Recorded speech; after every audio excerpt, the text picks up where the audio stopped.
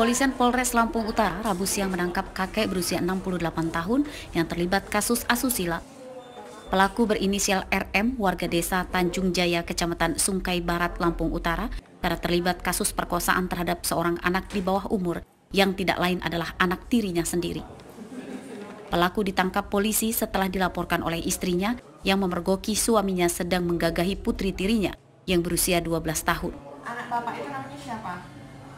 Ironisnya, kejadian itu dilakukan di samping istrinya yang sedang tertidur pulas di kamar.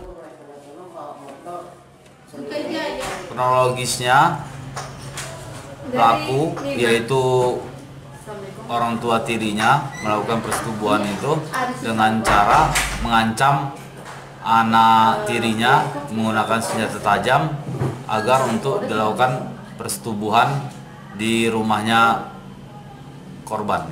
Dalam penangkapan ini, pelaku mengelak telah memperkosa putri tirinya sendiri. Namun dari hasil pengakuan korban, sudah tiga kali diperkosa oleh ayah tirinya. Pelaku selalu mengancam dengan golok jika korban menceritakan aibnya kepada orang lain. Polisi juga mendapati bukti hasil visum yang terdapat ada luka pada kemaluan korban diduga akibat diperkosa pelaku. Senjata tajam golok dan pakaian saat korban diperkosa pelaku disita sebagai barang bukti.